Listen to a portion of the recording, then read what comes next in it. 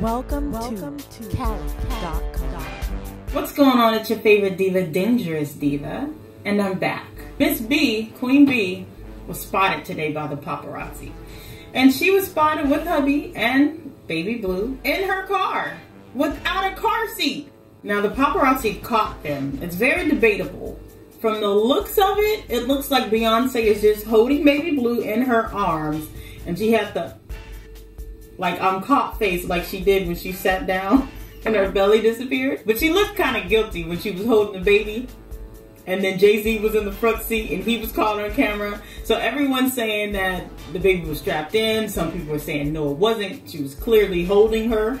Come on, B. Safety first, especially something like a precious jewel that you have. Your baby, your firstborn.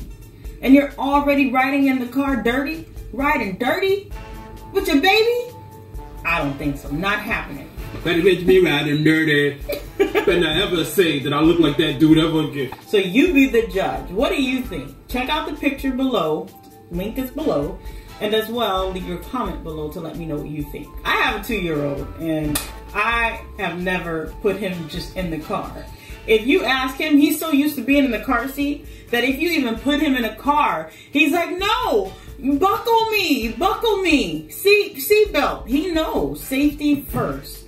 You never put your child's life in jeopardy. I don't care how much money you have or what kind of car you have. Make sure your child is strapped in. Be safe. It's Dangerous Diva. Welcome to Cali Television. Subscribe now for all the latest news.